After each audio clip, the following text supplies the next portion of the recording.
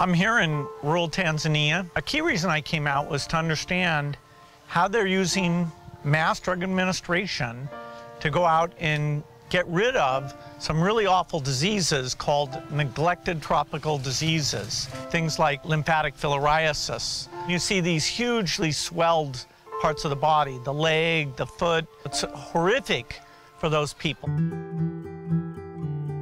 Well, when you want to get rid of a disease, there's two ways you could go about it. One is go out and test everybody and only treat those people that have the disease. The other is to go out and just treat everyone.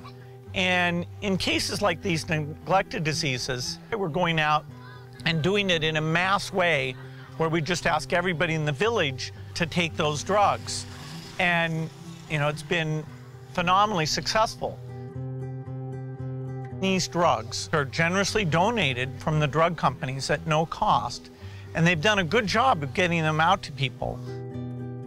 I was very impressed with how they do it here in Tanzania because they pick people that are trusted in the community, that are serious about the job, and so they get it out to over 90% of the people, which is what you need to do to, over a period of years, have that disease disappear.